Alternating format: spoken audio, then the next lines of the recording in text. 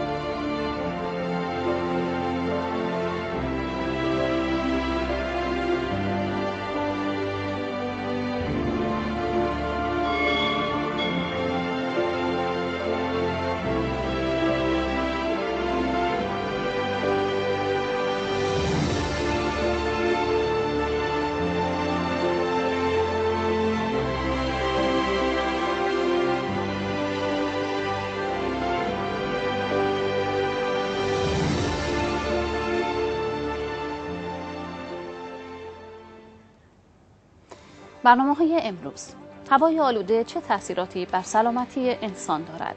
آیا هوای آلوده موجب تشدید بیماری کرونا می شود؟ گفتگو با دکتر مسعود کاشفی پژوهشگر در مسائل سلامتی و پزشکی از بلژیک در رابطه با وضعیت آلودگی هوا در ایران و تاثیرات اون.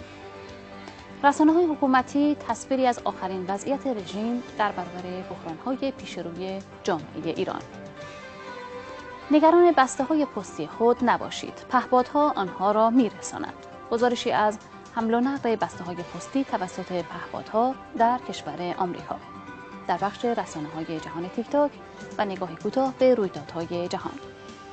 شروع غنیسازی 20 درصدی در فردو تیر خلاص برجام یا نشان روی با اسلحه خالی.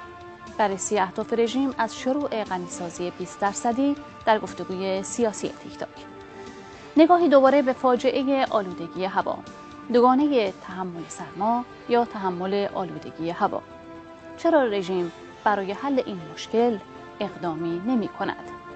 بینندگان گرامی با ما همراه باشید در برنامه تیک تاک.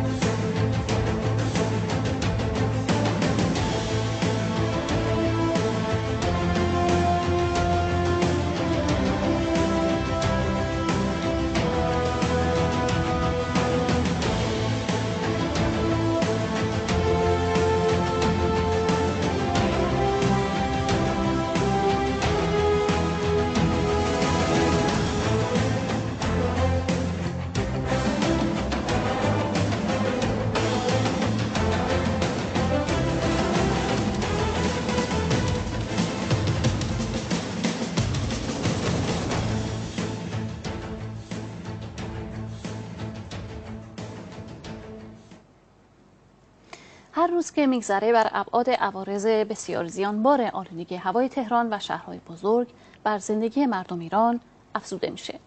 آلودگی شدید هوای شهرهای کشورمون اون هم در زمانی که مردم درگیر بیماری کرونا هستند نگرانی های زیادی رو ایجاد کرده. در رابطه با این موضوع پرسش های مختلفی به ذهن می‌زنه و از میزان تاثیرات این پدیده روی سلامتی انسان و همینطور از تاثیر اون در بهبود یا تشدید بیماری کرونا و همچنین سوالات دیگه. در رابطه با این موضوع گفتگویی داریم با دکتر مسعود کاشفی پژوهشگر در مسائل سلامتی و پزشکی از بلژیک. دکتر کاشفی با سلام به شما و خیلی خوش آمدید به برنامه تیک تاک. سلام از می‌کنم خدمت شما و همکارانتون در خدمتتون هستم. بله آلودگی هوا چه تأثیری بر سلامتی انسان می‌ذاره و آیا در سیر بهبود یا تشدید بیماری کرونا هم این موضوع تأثیری داره یا خیر؟ بله برای اینکه بتونیم دقیقتر به این سوال شما پاسخ بدیم توجه شما و بینندگانتون رو به سه نکته مهم جلب می‌کنم. یکی اینکه در تاثیر آلودگی هوا بر سلامت انسان سه تا مطلب اهمیت دارن. نوع آلاینده هایی که در هوا هستند اندازه ذرات این آلاینده ها و سطحی که ارتفاعی که این آلاینده ها از سطح زمین دارن. یعنی در چه لایه ای از اتمسفر قرار گرفتن. لایه های نزدیک زمین تروپوسفر یا لایه های دورتر یا استراتوسفر.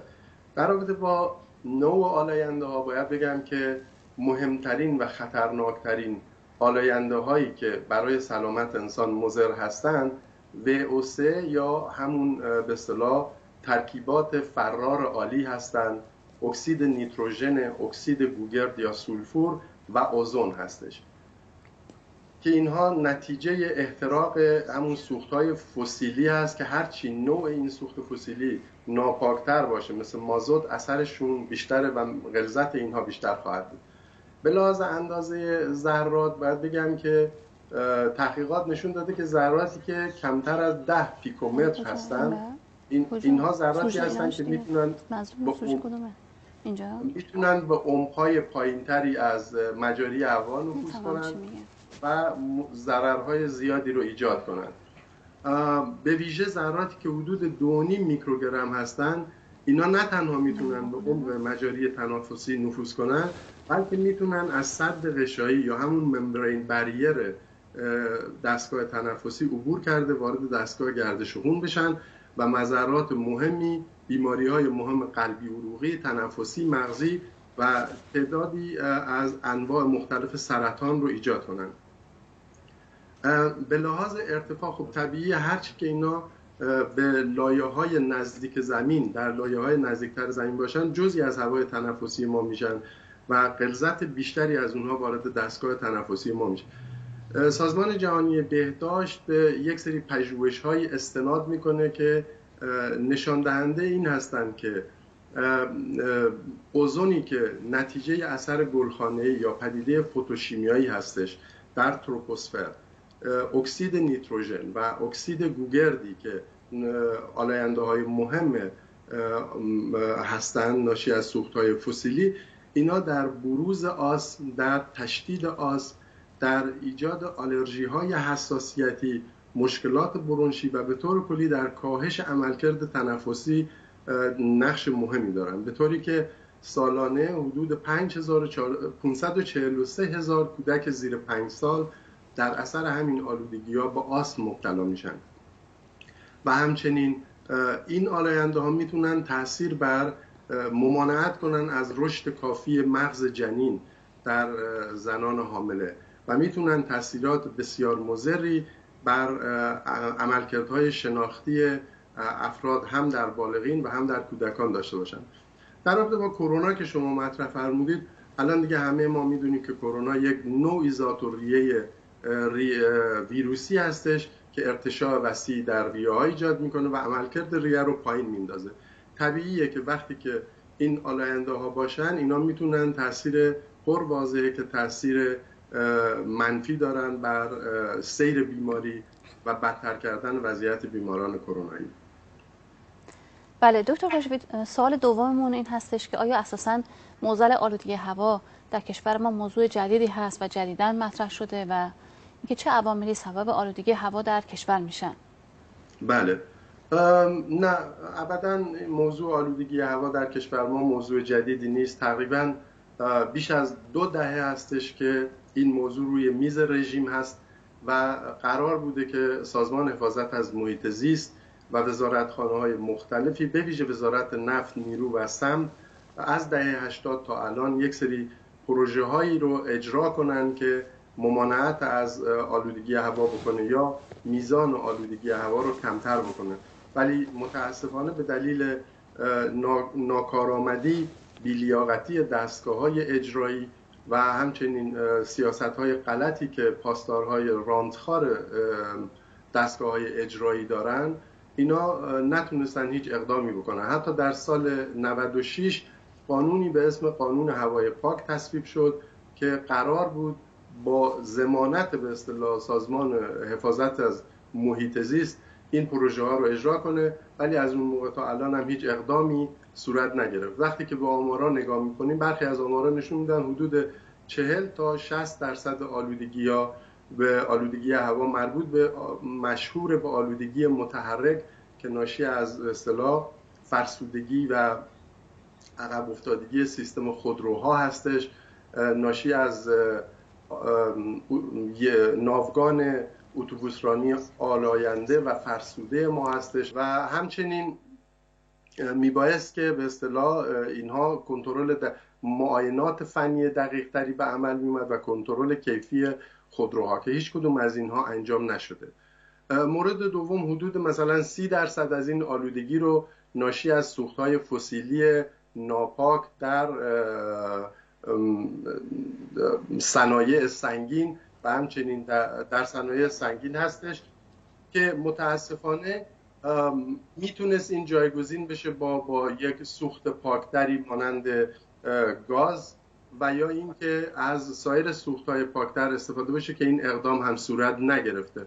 بخش دیگه ای از این آلودگی می‌تونه مربوط به همون سوخت های ناپاکی باشه که در منازل استفاده میشه برای گرمایش و مواد تهیه خوراک که با اینکه ایران خودش دومین تولید کننده گاز طبیعی هستش متاسفانه بسیاری از مناطق روستایی و شهری ما از به اصطلاح شبکه گاز بهرهمند نیستند.